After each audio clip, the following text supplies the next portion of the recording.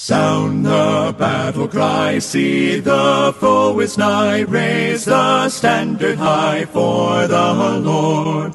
Gird your armor on, stand firm everyone, rest your cause upon his holy word. As we approach the last days of this world, while the devil is spreading like a dead leprosy, and our world is as a Noah's, corrupted as a Sodom and Gomorrah, Satan's plan is to corrupt everyone, especially the youth. Dear youth, God is trying to intervene by sending you advices, warning, and a strength to help you to overcome the devil. Marching on we go, while our cause we know must prevail. Your brothers, the preachers of revival and reformation, are inviting you to attend our Youth Camp meeting, which will be held on March 26 and 27, 2022, starting at 9 a.m. in Ohio, Dayton. Ready, steady, pass the word along.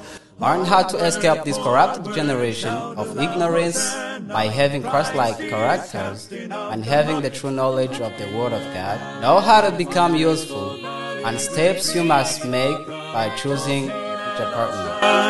Here we shall live in the most tinted garden near the shade of the evergreen tree. How I long for the paradise valley,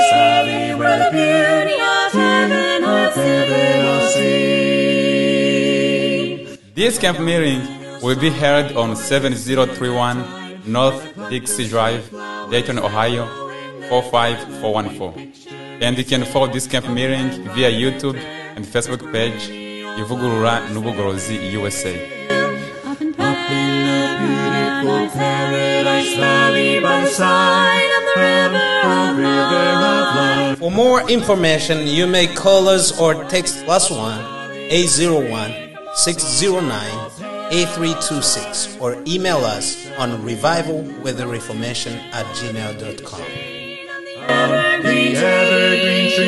How I long for the paradise valley where the beauty of heaven.